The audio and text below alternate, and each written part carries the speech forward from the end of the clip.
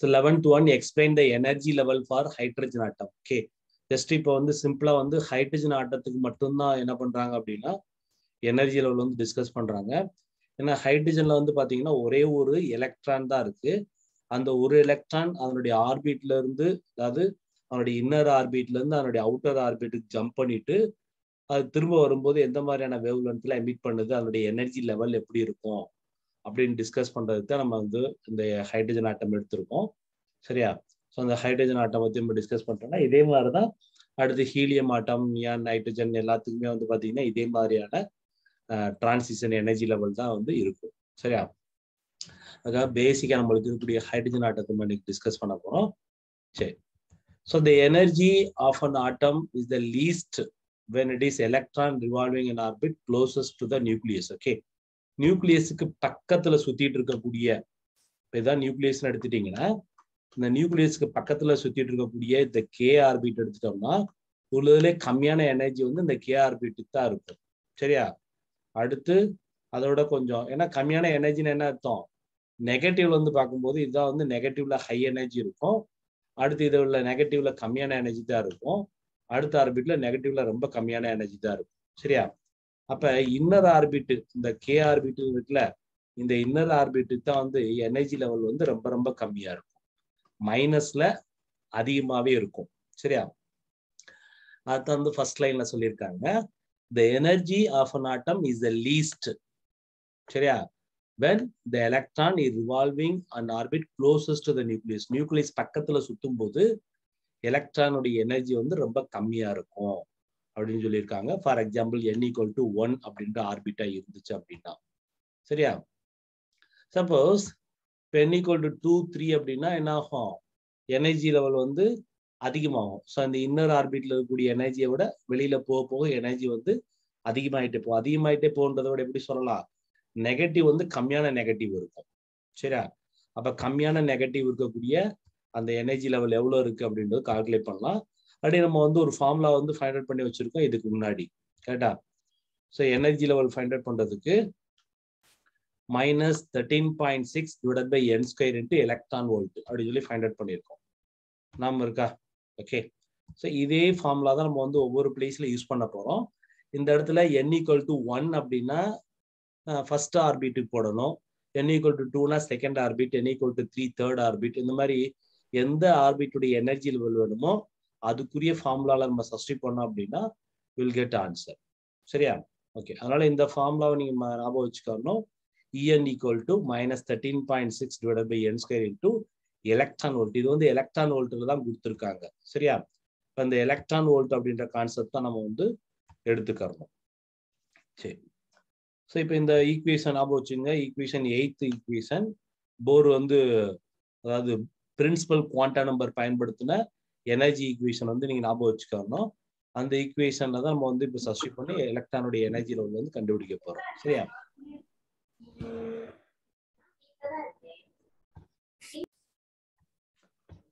okay so here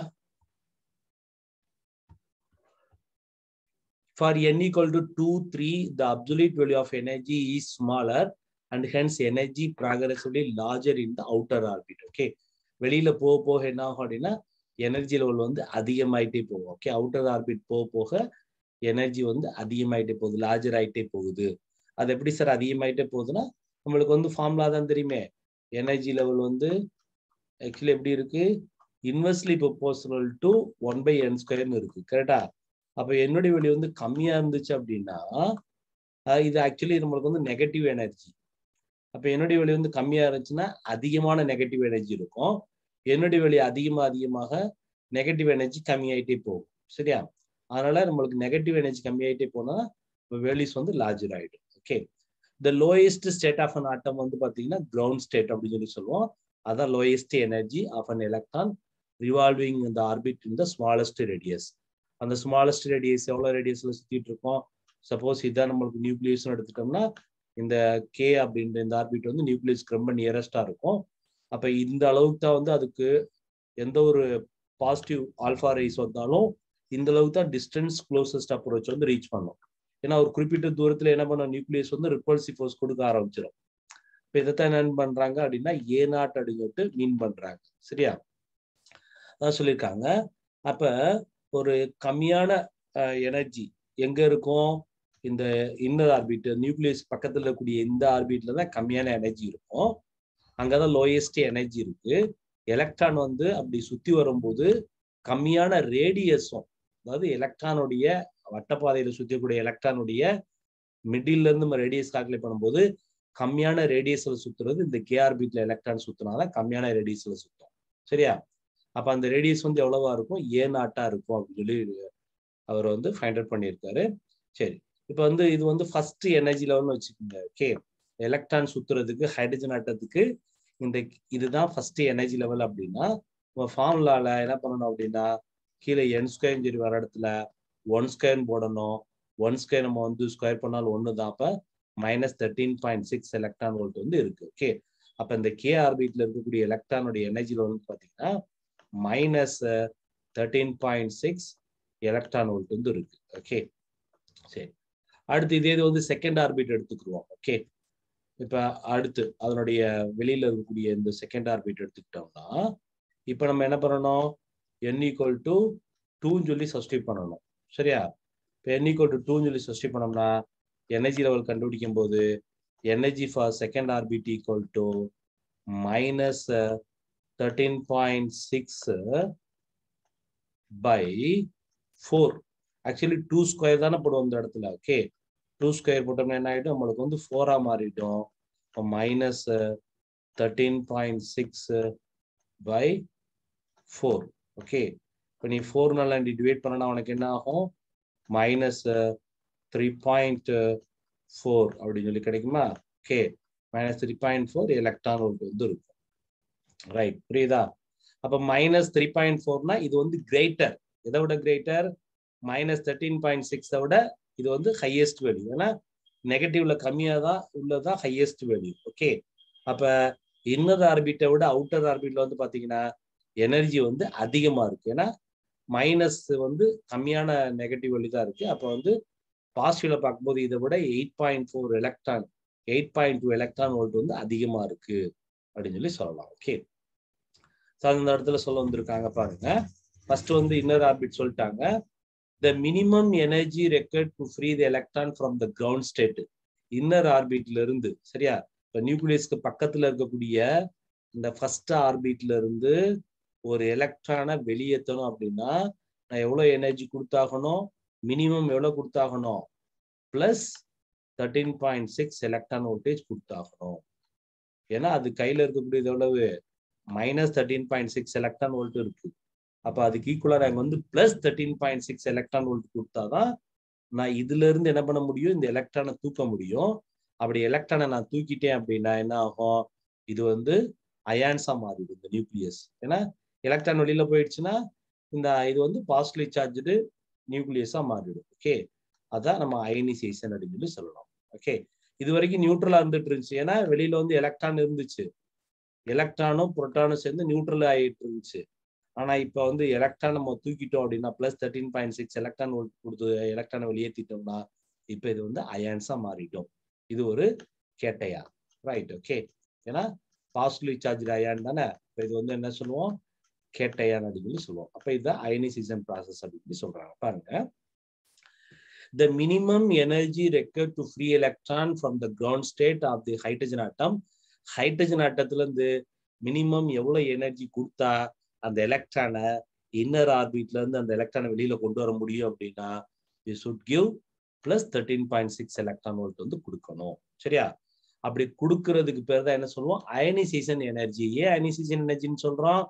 ஏன்னா அந்த எலக்ட்ரானை தூக்கிட்டோம்னா இப்ப இந்த நியூக்ளியஸ் வந்து கேட்டியான மாறிடும். அப்ப கேட்டியான மாத்தக்கூடிய இவ்வளவு இந்த டெண்டன்சி வந்து எப்ப நம்மளுக்கு கிடைக்கும்? Plus thirteen point six electron volt கொடுத்தாதான் கிடைக்கும். அப்ப இந்த அளவுக்கு எனர்ஜி கொடுத்தாதான் இதை அயனா மாத்த முடியும். அதனால இந்த எனர்ஜிக்கு பேரு அயனிசேஷன் எனர்ஜி அப்படின்னு கூட சொல்லலாம். Okay so this is called ionisation energy of the hydrogen atom இப்போ போர் மாடல் ஆஃப் அன் ஆட்டத்தில் வந்து இது வந்து எக்ஸலண்ட் அக்ரிமெண்டாக இருந்துச்சு. எக்ஸ்பெரிமெண்ட் வேல்யூவும் இந்த அயனிசேஷன் எனர்ஜி வந்து அவர் போர் என்ன கெஸ் பண்ணாரோ அதே வேல்யூஸ் தான் கிடைச்சது. ஓகே அதனால எல்லாம் என்ன பண்ணாங்க அப்படின்னா போருடைய கான்செப்டை அக்செப்ட் பண்ணிக்கிட்டாங்க. சரியா? ஓகே இப்போ ரூம் டெம்பரேச்சருக்கு வரும். இது வரைக்கும் நம்ம டிஸ்கஸ் பண்ணிட்டு இருந்தது ஜீரோ டிகிரி செல்சியஸ்ல சரி ரூம் டெம்பரேச்சர் வரும் ரூம் டெம்பரேச்சர்ல என்ன ஆகும்? கொஞ்சம் எனர்ஜி வந்து வெளியில இருந்து ரிசீவ் பண்ணுமா? எலக்ட்ரான் ஒன்று ஒன்று கொலைட் பண்ணுமா? கொலைட் பண்ணி ஒரு சஃபிஷியன்ட் எனர்ஜியை கெயின் பண்ணுமா? அதனால இப்போ வந்து என்ன ஆகும் அப்படின்னா சம் சேஞ்சஸ் நடக்க வாய்ப்பு இருக்கு அப்படின்னு சொல்லி சொல்றாங்க. At room temperature most of the hydrogen atom are in ground state when hydrogen atom receive energy by process by such electron collision the atom may occur sufficient energy to rise electron to higher energy state okay? அப்படி room டெம்பரேச்சருக்கு இந்த hydrogen நம்ம வச்சிருந்தோம் அப்படின்னா room டெம்பரேச்சர்னால கிடைச்ச அந்த heat எனர்ஜியை receive பண்ணிட்டு அந்த எலக்ட்ரான் இன்னர் ஆர்பிட்ல இருந்து அவுட்டர் ஆர்பிட்டுக்கு ஜம்ப் பண்ண வாய்ப்பு இருக்கு ஓகே அப்படி ஜம்ப் பண்ணி போச்சு அப்படின்னா என்ன ஆகும்? திரும்ப அதனுடைய கிரவுண்ட் ஸ்டேட்டுக்கு வரும்போது அது கண்டிப்பா ஏதாவது ஒரு ரேஸ் எமிட் பண்ணிட்டு தான் வரும் ஓகே அந்த எக்ஸ்பிளனேஷன் இங்க தரப்போறாங்க. The atom is said to be in excited state எப்போ? அது ரூம் டெம்பரேச்சர்ல எலக்ட்ரான் என்ன பண்ணுது? ரூம் டெம்பரேச்சரில் கூடிய ஹீட் எனர்ஜி அப்சர்வ் பண்ணி அதனுடைய கிரவுண்ட் ஸ்டேட்ல இருந்து அது வந்து excited state ground state to excited ஸ்டேட்னா அதனுடைய இன்னர் ஆர்பிட்ல இருந்து அதனுடைய அவுட்டர் ஆர்பிட்டுக்கு ஜம்ப் பண்ணிட்டு ஓகே யா அப்படி எந்த ஆர்பிட்டுக்கு இது ஜம்ப் பண்ணுதோ அந்த எனர்ஜி டிஃபரன்ஸ் அளவுக்கு அது என்ன ஆயிடும்? வேவ்லன்ட்டு மீட் பண்ணும். அது எப்படி சார் கண்டுபிடிக்கிறது அப்படின்னா சப்போஸ் பாருங்க. இப்ப இது வந்து நியூக்ளியஸ்னு வச்சுக்கோங்க. இப்ப இந்த நியூக்ளியஸ் பக்கத்துல இருக்கக்கூடிய இந்த கே செல்ல வந்து ஒரு எலக்ட்ரான் இருந்துட்டு இருக்கு இப்ப நம்ம இந்த இந்த ஹைட்ரஜன் ஆட்டத்தை நம்ம ரூம் டெம்பரேச்சர்ல மெயின்டைன் பண்றோம். இப்போ ரூம் டெம்பரேச்சர்ல இருந்து some sufficient heat energy absorb பண்ணுது. அப்சர்வ் பண்ணி இந்த எலக்ட்ரான் என்ன ஆயிடுது அப்படின்னா இதனுடைய ஸ்டேட்ல இருந்து இதனுடைய எக்ஸைட்டட் ஸ்டேட் அடுத்த ஸ்டேட்டுக்கு என்ன பண்ணிடுது? ஏன்னா கொஞ்சம் எனர்ஜியை கெயின் பண்ணிட்டா அது கிரவுண்ட் ஸ்டேட்ல இருக்காது. என்னாகும்? இந்த எலக்ட்ரான் இங்கேருந்து அடுத்த ஸ்டேட்டுக்கு இங்கேருந்து ஜம்ப் பண்ணிடுது. சரியா? செகண்ட் ஸ்டேட்டுக்கு ஜம்ப் பண்ணிடுது. அப்படி ஜம்ப் பண்ணும்போது இங்க இருக்கும்போது இந்த எலக்ட்ரானுடைய எனர்ஜி லெவல் என்ன? இங்க இருக்கும்போது இந்த எலக்ட்ரானுடைய எனர்ஜி லெவல் என்ன? இதுக்கு இடையில எவ்வளவு எனர்ஜி டிஃபரன்ஸ் இருக்குன்னு சொல்லி ஃபைண்ட் அவுட் பண்ணணும். ஓகே இப்ப இன்னர் ஆர்பிட்ல இருக்கும்போது எலக்ட்ரானுடைய எனர்ஜி லெவல் எவ்வளவு இருக்கும்? Minus thirteen point six electron volt வந்து இருந்திருக்கும். சரியா? இதே இது செகண்ட் ஆர்பிட்டுக்கு அது ஜம்ப் பண்ணிருச்சுன்னு வைங்களேன். ஜம்ப் பண்ணிருச்சுன்னா இப்போ அதனுடைய எலக் எனர்ஜி லெவல் எவ்வளவு இருந்திருக்கும்? Minus three point four electron voltage இருந்திருக்கும். Okay minus three point four electron volt வந்து இருந்திருக்கும். அப்போ எவ்வளோ எக்ஸஸ் ஆகி எனர்ஜி வந்து கிடைச்சிருக்கு? இது இந்த ஆர்பிட்ல இருந்து அந்த செகண்ட் ஆர்பிட் ஜம்ப் பண்ணும்போது nearly ten point two electron volt வந்து அதுக்கு எக்ஸஸாக கிடைச்சிருக்கு. அது எதுலேருந்து கிடைச்சிருக்கு? இந்த ரூம் டெம்பரேச்சர்லேருந்து கிடைச்சிருக்கலாம். இந்த ரூம் டெம்பரேச்சர்ல இருந்து இந்த ten point two electron volt வந்து இதுக்கு எக்ஸஸா கிடைச்சிருக்கா? இப்படி கிடைச்சிருச்சுன்னா அது என்ன ஆகும்? இந்த கிரவுண்ட் ஸ்டேட்ல இருந்து எக்ஸைட்டட் ஸ்டேட்டுக்கு ஜம்ப் பண்ணிடும். அப்படி எக்ஸைட்டட் ஸ்டேட்டுக்கு ஜம்ப் பண்ண உடனே அங்கேயே பெர்மனண்டா இருக்காது. திரும்ப என்ன ஆகும்? இந்த கிரவுண்ட் ஸ்டேட்டுக்கு வர ட்ரை பண்ணோம். அப்படி வரும்போது என்ன பண்ணும்? இது எவ்வளோ எக்ஸஸா எனர்ஜி ரிசீவ் பண்ணி வச்சிருக்கு? அதே அளவுக்கு எனர்ஜி உள்ள வேவ் லென்த் என்ன பண்ணிட்டோம்? அது எபிட் பண்ணிட்டு அது திரும்ப கிரவுண்ட் ஸ்டேட்டுக்கு வர ஆரம்பிச்சிடும். அவ்வளவுதான் கான்செப்ட் புரியுதா?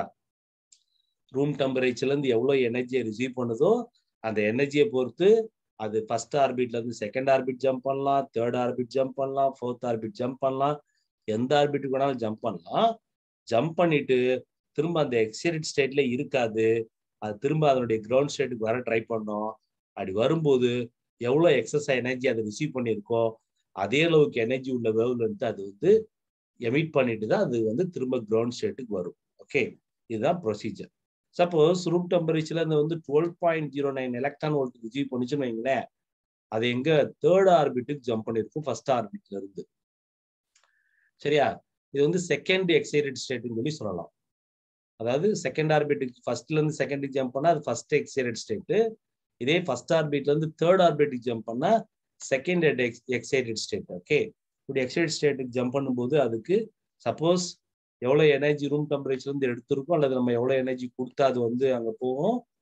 Twelve point zero nine electron voltage கொடுத்தா அது ஃபர்ஸ்ட் ஆர்பிட்ல வந்து தேர்ட் ஆர்பிட்டுக்கு ஜம்ப் பண்ணிட்டோம். இப்படி எக்ஸைட் ஸ்டேட்டுக்கு போகிறது என்ன ஆகிடும் அப்படின்னா திரும்ப என்ன ஆகிடும் the electron can then fall back to the state of lower energy emitting a photon in the process திரும்ப அந்த எக்ஸைட் ஸ்டேட்ல இருந்து என்ன ஆகும் அப்படின்னா அதனுடைய கிரவுண்ட் ஸ்டேட்டுக்கு அதனுடைய லோயர் எனர்ஜி ஸ்டேட்டுக்கு ஜம்ப் பண்ணும். அப்படி ஜம்ப் பண்ணும்போது அது சம் வேவ் லென்த்தை மீட் பண்ணிட்டு ஜம்ப் பண்ணும். தட்ஸ் ஆல் ஸோ ப்ராசஸ் ரொம்ப சிம்பிள் தான். திரும்ப சொல்றேன். அதாவது எலக்ட்ரான் இன்னர் ஆர்பிட்ல இருக்கு. ஏதாவது ஒரு எனர்ஜி அது ஹீட் எனர்ஜியோ லைட் எனர்ஜி ஏதோ ஒரு எனர்ஜியை ரிசீவ் பண்ணுது. அது எவ்வளோ எனர்ஜி ரிசீவ் பண்ணுது? Ten point two electron வோல்ட்டா twelve point nine zero nine electron வோல்ட்டா இந்த மாதிரி எவ்வளோ எனர்ஜியை ரிசீவ் பண்ணுதோ அதை பொறுத்து இந்த ஃபர்ஸ்ட் ஸ்டேட்ல இருந்து செகண்ட் ஸ்டேட் ஜம்ப் பண்ணலாம் இந்த ஃபர்ஸ்ட் ஸ்டேட்ல இருந்து தேர்ட் ஸ்டேட் ஜம்ப் பண்ணலாம் ஃபர்ஸ்ட் ஸ்டேட்ல இருந்து ஃபோர்த் ஜம்ப் பண்ணலாம். எங்க வேணாலும் ஜம்ப் பண்ணோம். டிபெண்ட் அப்பான் அதுக்கு வெளியில இருந்து கிடைக்கக்கூடிய எனர்ஜியை பொறுத்து. அப்படி ஜம்ப் பண்றது திரும்ப என்ன ஆகும்? எக்ஸிடெட் ஸ்டேட்ல இருந்து திரும்ப அதனுடைய கிரவுண்ட் ஸ்டேட்டுக்கு திரும்ப போக ட்ரை பண்ணணும். அப்படி போகும்போது அது எவ்வளோ எனர்ஜி எக்ஸஸா ரிசீவ் பண்ணுச்சோ அதை வந்து வேவ் லென்த்தா அதாவது ஃபோட்டானா ரிலீஸ் பண்ணிட்டு தான் அது வெளியே போகும். அதாவது ஃபோட்டானை ரிலீஸ் பண்ணிட்டு தான் அது வந்து தன்னுடைய கிரவுண்ட் ஸ்டேட்டுக்கு வரும். ஓகே இதுதான் ஹைட்ரஜன் ஆட்டத்துடைய அந்த ஸ்பெக்ட்ரத்துடைய அந்த எக்ஸ்பிளனேஷன் ஓகே அது ஏன் ஹைட்ரஜன் ஆட்டம் வந்து எப்படி டிஃப்ரெண்ட் ஸ்பெக்ட்ரம் ரிலீஸ் பண்ணுது? அப்படின்னு சொல்லி எக்ஸ்பிளைன் பண்றதுக்கு இதுதான் எக்ஸ்பிளனேஷன் பாருங்க. ஸோ அதான் ஃபைனலாக சொல்லிட்டாங்க. From these excited state the electron can then fall back to the lower energy emitting a photon in this process okay சரி எனர்ஜி லெவல் வந்து கொடுத்துருக்காங்க. சப்போஸ் அதனுடைய ஃபர்ஸ்ட் எனர்ஜி லெவலில் மைனஸ் தேர்ட்டீன் பாயிண்ட் சிக்ஸ் இருக்கு. செகண்ட்னா minus three point four third fourth fifth இந்த மாதிரி எல்லாத்துக்குமே நம்ம என்ன பண்ணலாம்? நம்மளுடைய எலக்ட்ரானுடைய ஃபார்முலா சப்ஸ்டியூட் பண்ணி நம்ம வந்து எனர்ஜி லெவல் வந்து கண்டுபிடிச்சு வச்சுக்கோங்க okay minus thirteen point six electron volt okay by n square அப்படின்ற ஃபார்முலா சப்ஸ்டியூட் பண்ணி என் ஈக்குவல் டு ஒன்றுனா first energy level n equal to டூனா second energy level n equal to த்ரீனா third energy level fourth energy level fifth energy level போடணும். என் equal to இன்ஃபினிட்டினா zero electron volt தான் இருக்கும். ஏன்னா இந்த இடத்துல கீழே வந்து எனக்கு பதிலாக இன்ஃபினிட்டி போட்டேன்னு வையேன். எனி திங் பை இன்ஃபினிட்டி என்ன ஆகிடும் ஜீரோ ஆகிடும் புரியுதா? அப்போ இன்ஃபினிட்டி எனர்ஜி ஸ்டேட்டுக்கு தான் ஜீரோ எலக்ட்ரான் வோல்ட் இருக்கு. தட் மீன்ஸ் வாட் எலக்ட்ரான் வந்து இன்ஃபினிட்டி போயிடுச்சுன்னா அதுக்கு வந்து இன்ஃபினிட்டி கொண்டு போகிறதுக்கு நம்ம எவ்வளோ எலக்ட்ரான் கொடு எவ்வளோ எனர்ஜியை மெயின்டைன் பண்ணணும்? ஜீரோ எலக்ட்ரான் வோல்டேஜ் மெயின்டைன் பண்ணால் போதும். அப்போ அந்த ஜீரோ எலக்ட்ரான் வோல்டேஜ் மெயின்டைன் பண்ணால் இங்கே இருக்கிறதுல நெகட்டிவ்ல இருக்கு. அப்போ அதுக்கு ஈக்குவலாக இப்போ பாருங்க இந்த பிளேஸ்ல எக்ஸ்பிளைன் பண்றேன். சப்போஸ் இந்த பிளேஸ்ல ஒரு எலக்ட்ரான் இருக்கு. இங்க இருந்து நான் இந்த எலக்ட்ரானை இன்ஃபினிட்டி கொண்டு போகணும்னு வைங்களேன். இப்போ என்ன பண்ணணும்? இதை நான் ஜீரோ எலக்ட்ரான் வோல்ட்டாக மாத்தணும். அப்படி நான் ஜீரோ எலக்ட்ரான் வோல்ட்டை மாற்றினா இதுக்கு நான் என்ன பண்ணணும்? Plus three point four electron வோல்ட்டை ப்ரொவைட் பண்ணும். இப்படி plus three point four electron வோல்ட்டை கொடுத்தா எனக்கு டோட்டல் எனர்ஜி லெவல் என்ன ஆகிடும் ஜீரோ எலக்ட்ரான் வோல்ட் ஆகிடும் ஜீரோ எலக்ட்ரான் வோல்ட் எதுக்கு? இன்ஃபினிட்டிக்கு அப்போ எலக்ட்ரான் ஆட்டோமேட்டிக்காக இன்ஃபினிட்டிக்கு போயிடுது. புரியுதா? இப்படித்தான் என்ன பண்ணணும்? ஒவ்வொரு எனர்ஜி லெவல்லையும் இருந்த எலக்ட்ரானை வெளியே இன்ஃபினிட்டி கொண்டு வர்றதுக்கு அதுக்கு தேவையான நெசசரி எனர்ஜியை வந்து சப்ளை பண்ணணும். அப்படி சப்ளை பண்ணிட்டோம் அப்படின்னா அது வெளியில கொண்டு வந்துடலாம். வெளியில கொண்டு வராம அது வந்து என்ன ஆகலாம்? இப்படியும் நடக்கலாம். அதாவது கிரவுண்ட் ஸ்டேட்ல இருந்து செகண்ட் ஸ்டேட்டுக்கு ஜம்ப் பண்ணிட்டு திரும்ப இந்த மாதிரி கிரவுண்ட் ஸ்டேட்டுக்கு வரும். வரும்போது ஒரு குறிப்பிட்ட வேவ் லென்த்தை மீட் பண்ணிட்டு இருக்கும் இப்போ கிரவுண்ட் ஸ்டேட்ல இருந்து செகண்ட் ஸ்டேட் தேர்ட் ஸ்டேட்டுக்கு ஜம்ப் பண்ணோம். திரும்ப கிரவுண்ட் ஸ்டேட்டுக்கு வரும். வரும்போது அது வேற ஒரு வேவ் லென்த்தை மீட் பண்ணிட்டு இருக்கும் சரியா? இதே மாதிரி கிரவுண்ட் ஸ்டேட்ல இருந்து அதை ரிசீவ் பண்ற எனர்ஜியை பொறுத்து ஃபோர்த் ஸ்டேட் போகலாம் ஃபிஃப்த் ஸ்டேட் போகலாம் சிக்ஸ்த் ஸ்டேட் போகலாம். அது திரும்ப கிரவுண்ட் ஸ்டேட்டுக்கு வரும்போது அது எவ்வளோ எனர்ஜி அப்சர்வ் பண்ணுச்சோ அதே அளவுக்கு எனர்ஜியை வந்து ஃபோட்டானா ரிலீஸ் பண்ணிட்டு தான் வரும். இதுதான் ஹைட்ரஜன் எனர்ஜி லெவலுடைய ஸ்பெக்ட்ரத்துடைய எக்ஸ்பிளனேஷன் போர் வந்து எக்ஸ்பிளைன் பண்ணாரு okay so they for as per the principal quantum number n equal to ஒன்ல இருந்து ஸ்டார்ட் பண்ணி இன்ஃபினிட்டி வரைக்கும் இருக்கும்.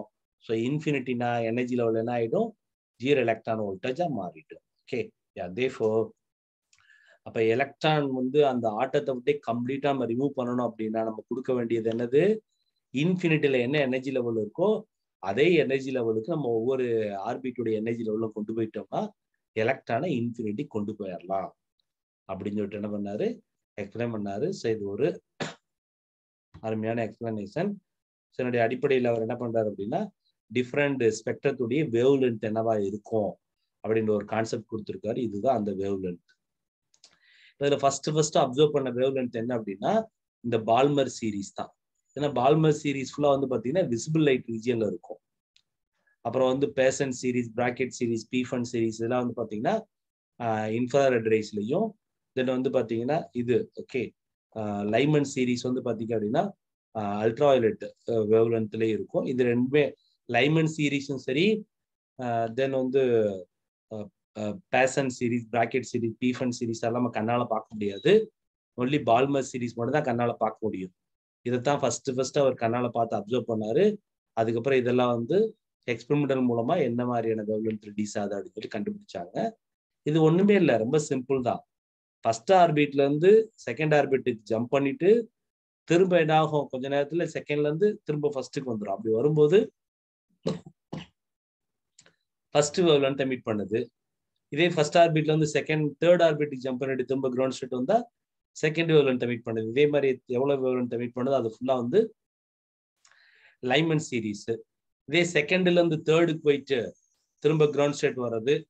அடுத்து செகண்ட்ல இருந்து ஃபோர்த்து போயிட்டு கிரவுண்ட் ஸ்டேட் வருது செகண்ட்ல இருந்து போயிட்டு கிரவுண்ட் ஸ்டேட் வருது இந்த மாதிரி வரும்போது விசிபிள் லைட் உள்ள ரீஜியன்ல இருந்து என்ன பண்ணோம் அப்படின்னா வேவ்லென்த்தை மீட் பண்ணோம். அது வந்து பால்மர் சீரீஸ் சொல்றாங்க. அடுத்து தேர்ட் ஆர்பிட்ல இருந்து ஃபோர்த் ஆர்பிட் ஜம்ப் பண்ணிட்டு திரும்ப கிரவுண்ட் ஸ்டேட் வர்றது. இதே மாதிரி வந்து பண்ணுச்சு அப்படின்னா அது பேசன் சீரீஸ் அடுத்து ஃபோர்த்ல இருந்து ஃபிஃப்த்து சிக்ஸ்த்து செவன்த் போயிட்டு திரும்ப வந்து ஃபோர்த் ஸ்டேட்டுக்கே வர்றது ப்ராக்கெட் அடுத்து ஃபிஃப்த்துலேருந்து சிக்ஸ்த்து செவன்த் போயிட்டு திரும்ப வந்து ஃபிஃப்த்துக்கே வர்றது பீஃபன் சீரீஸ் இந்த மாதிரி five different types of series என்ன பண்ணியிருக்காங்க அப்படின்னா அப்சர்வ் பண்ணியிருக்காங்க ஹைட்ரஜன் ஸ்பெக்ட்ரத்துக்கு ஓகே அதனுடைய ஃப்ரீக்வன்சி கண்டுபிடிக்கிறதுக்கு வேவ்லென்த் கண்டுபிடிக்கிறதுக்கு என்ன பண்ணியிருக்காரு அப்படின்னா ஒரு ஃபார்முலா டிரைவ் பண்ணியிருக்காரு அந்த ஃபார்முலா தான் இந்த ஃபார்முலா ரைட் ஓகே ஸோ இந்த கொஸ்டின் பார்த்து முடிச்சிருவோம். Explain the line spectrum of hydrogen atom okay Bohr பாஸ்லைட்டுடைய Bohr model of an atom அடிப்படையில் எந்த ஆர்பிட்ல இருந்து எந்த ஆர்பிட்டுக்கு எந்த பிரின்சிபல் குவாண்டம் நம்பர்ல இருந்து எந்த குவாண்டம் நம்பருக்கு அது ஜம்ப் பண்ணுது அதை பொறுத்து என்ன பண்ணணும்? அந்த எனர்ஜி டிஃபரன்ஸை கண்டுபிடிக்கணும். இப்போ h nu equal to E n i minus E n f okay என்னன்றது பிரின்சிபல் குவாண்டம் நம்பர் ஐன்றது இன்சியல் எஃப்ன்றது ஃபைனல் ஓகே அப்போ இன்சியல் அது எங்க இருந்துச்சு? ஃபைனலாக எங்க போயிருக்கு? அப்படின்ற எனர்ஜி லெவல் கண்டுபிடிக்கணும்.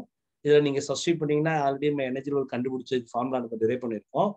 Minus m e power four divide by eight n square f naught square h square derive பண்ணியிருக்கோம். இது என்ன பண்ணுறோம் அப்படின்னா ரெண்டு ஸ்டேட்டுக்குமே எழுதுறோம். ஐக்கு எழுதுறோம் எஃப்க்கு எழுதுறோம். அப்படி எழுதும்போது எம் வந்து கான்ஸ்டன்ட் வெளியில் எடுத்துங்க e constant eight constant epsilon naught constant h h வந்து கான்ஸ்டன்ட் ஒன்லி சேஞ்ச் ஆகுறது என் மட்டும்தான். One by n i square one by ஏன்னா one by n f square minus one by n i square சொல்லி வரும்.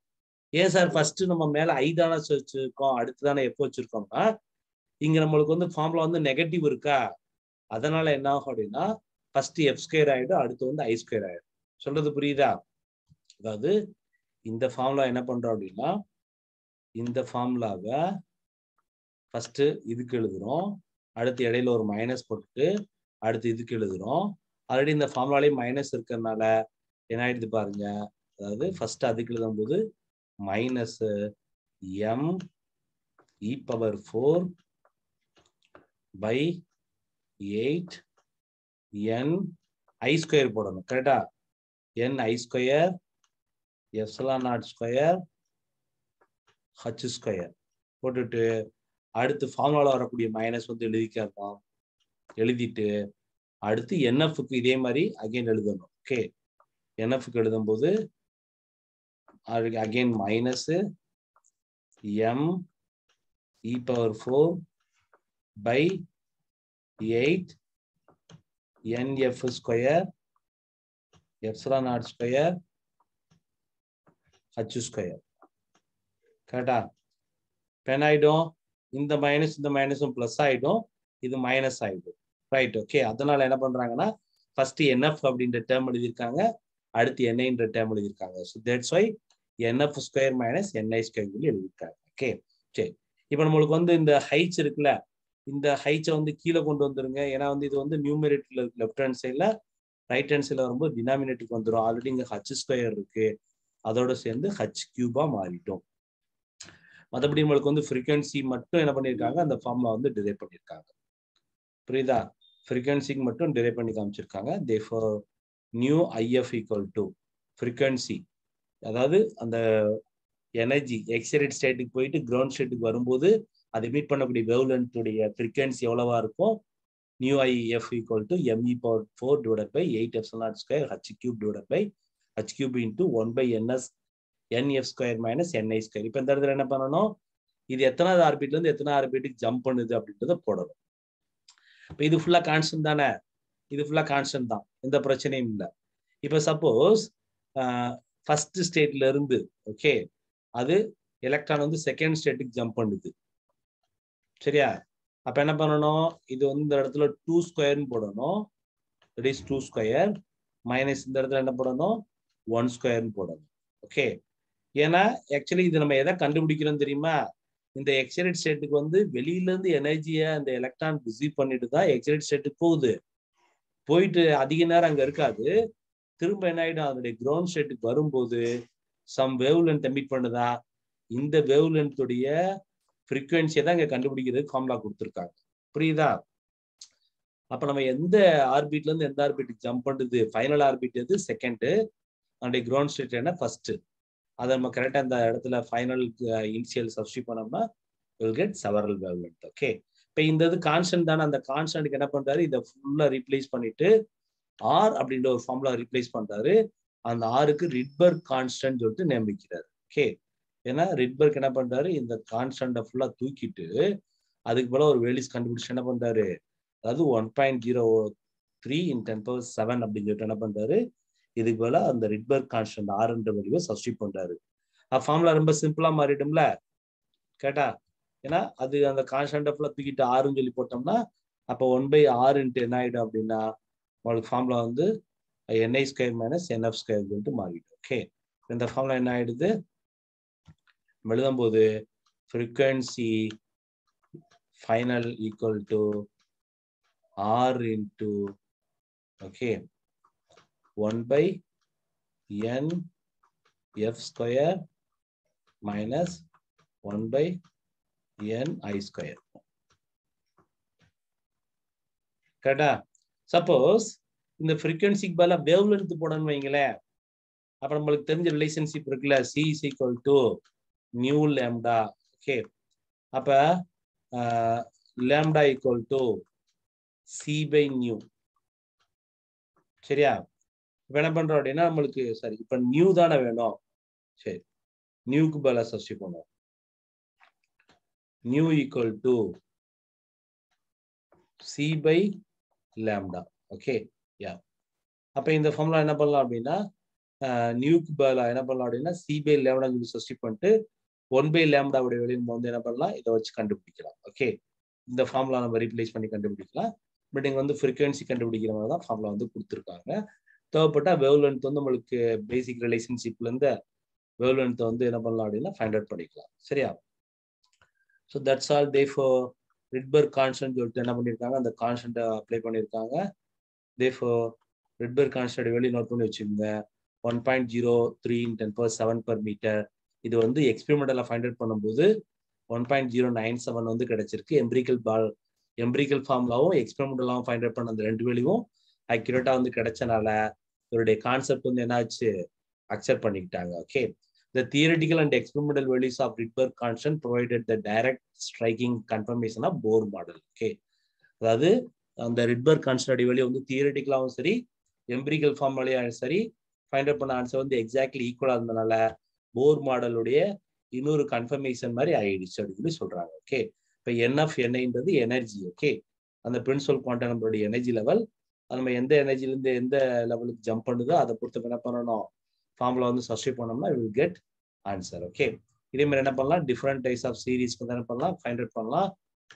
We have Lyman Balmer Paschen Brackett and Pfund இந்த மாதிரி different types of series இருக்கு. ஒவ்வொரு series எவ்வளோ atomic spectrum எங்கேருந்து எங்கே ஜம்ப் பண்ணுது அப்படின்றத நான் வந்து இங்கே கொடுத்துருக்கேன். இதில் வந்து பால்மர் சீரீஸ் மட்டும்தான் ஃபோட்டான்ஸ் கண்ணுக்கு தெரியற மாதிரி லைட் ரைஸ் இருக்கும். மற்ற எதுவுமே கண்ணுக்கு தெரியற மாதிரி லைட் ரைஸ் இருக்காது. அதாங்க சொல்லியிருக்காங்க. The spectral line is called emission lines okay இங்க எமிட் பண்ணதுக்குலாம் எமிஷன் லைன் சொல்லலாம். இதே இது வந்து ஆட்டம் அப்சர்வ் பண்ணி ரிலீஸ் பண்ணிச்சு அப்படின்னா அது வந்து அப்சர்வ்ஷன் லைன் அப்படின்னு சொல்லி சொல்லலாம். ஓகே இது எப்போ நடக்குது? அந்த எலக்ட்ரானுடைய transition okay from higher energy state to lower energy state போகும்போது என்ன ஆகுது அப்படின்னா இது நடக்குது.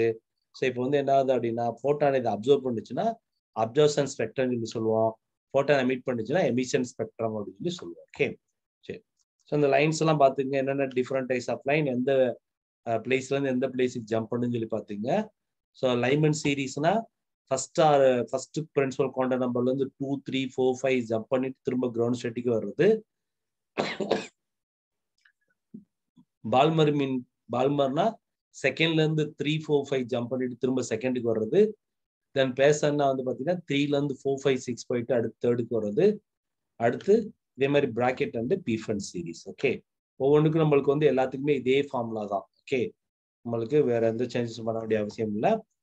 Thus, if photons continuous range of frequencies pass through the rarefied analyzed spectrometer, the several dark line வந்து அப்சர்வ் பண்ணுது. அதாவது இதுக்கு முன்னாடி நான் எக்ஸ்பிளைன் பண்ணியிருந்தேன். கண்டினியூஸ் ஸ்பெக்ட்ரம் என்ன? டார்க் லைன்ஸ் எப்படி கிடைக்குது? எப்படி வந்து நம்மளுக்கு வந்து எமிஷன் ஸ்பெக்ட்ரம் எப்படி கிடைக்குதுன்றத ஸ்டார்டிங்ல நான் சொல்லியிருக்கேன் இந்த பிளேஸ்லேயே சொல்லியிருந்தேன் ஓகே இந்த செவரல் டைப்ஸ் ஆஃப் லைன்ஸ் வந்து எக்ஸ்பிளைன் பண்ணியிருந்தேன். அதாவது கண்டினியூஸ் ஸ்பெக்ட்ரம்னா நம்மளுக்கு இப்படி வேவ் லென்த் கிடைக்கும். அந்த ஹைட்ரஜனை வந்து நம்ம என்ன பண்ணுறோம் இந்த எக்ஸ்பெரிமெண்டல் மூலமாக ஹைட்ரஜனை வந்து இப்படி வந்து க்ளோ பண்ணும்போது எலக்ட்ரிக் டிஸ்சார்ஜ் கொடுத்து க்ளோ பண்ணும்போது இந்த மாதிரி கண்டினியூஸ் லைனும் கிடைக்கலாம். அது எமிஷன் ஸ்பெக்ட்ரம் குறிப்பிட்ட வேவ் லென்த் மட்டும் எமிட் பண்ணலாம். இதே ஒரு கேஸ் ஒளியில் பாஸ் பண்ணோம் அப்படின்னா இந்த மாதிரி அப்சர்ஷன் ஸ்பெக்ட்ரம் படியும் கிடைக்கலாம். ஓகே டிபெண்ட் அப்பான் நம்ம வந்து எது வழியில பாஸ் பண்றோம். டைரக்டா ஹைட்ரஜன் லைட்டை வந்து நம்ம பிரிசத்துல பாஸ் பண்ணோம்னா எமிஷன் ஸ்பெக்ட்ரம் கிடைக்கும். இதே இது போற வழியில ஏதாவது ஒரு கேஸை இடையில ஃபில் பண்ணி அமிச்சோம்னா அந்த கேஸ் என்ன பண்ணும்? இந்த வேவ்லென்த்தை மட்டும் அப்சர்வ் பண்ணிட்டு ரிமைனிங் லைன்ஸ் எல்லாம் வந்து அலோவ் பண்ணும். அப்படித்தான் என்னது இந்த அப்சர்வன் ஸ்பெக்ட்ரம் அந்த இடத்துல மட்டும் டார்க் லைன் இருக்கும். மற்ற இடத்துலாம் கலர்ஸ் வந்து கிடைக்கும். இது இல்லாம நம்ம வந்து ஸ்பெக்ட்ரம் இல்லாம டைரக்டா வந்து அந்த இடையில வந்து பிரிசம் வச்சு பிரிக்காம டைரக்டா அந்த ஹைட்ரஜன் பல்ப் எரிய விட்டு நம்ம வந்து கலர்ஸ் பார்த்தோம் அப்படின்னா நம்மளுக்கு வந்து இந்த மாதிரி கண்டினியூஸ் ஸ்பெக்ட்ரம் வந்து கிடைக்கும். ஸோ அதனால continuous spectrum then emission spectrum then absorption spectrum இந்த மாதிரி டிஃப்ரெண்ட் டைப்ஸ் ஆஃப் ஸ்பெக்ட்ரம் வந்து ஹைட்ரஜன் வந்து கிடைக்கிறத வந்து இங்கேயும் சொல்லியிருக்காங்க. சரியா? அவ்வளோதான் சொல்லியிருக்காங்க. They for the explanation of hydrogen atom spectrum provided by Bohr's model வந்து பில்லியன்ட் அச்சீவ்மெண்ட் அப்படின்னு சொல்லி சொல்லியிருக்காங்க. இதுக்காக என்ன பண்ணாங்க அப்படின்னா நைன்டீன் டுவெண்ட்டி டூல போருக்கு வந்து நோபல் பிரைஸ் வந்து அவார்ட் பண்ணாங்க அப்படின்னு சொல்லி சொல்லியிருக்காங்க. Okay that's all today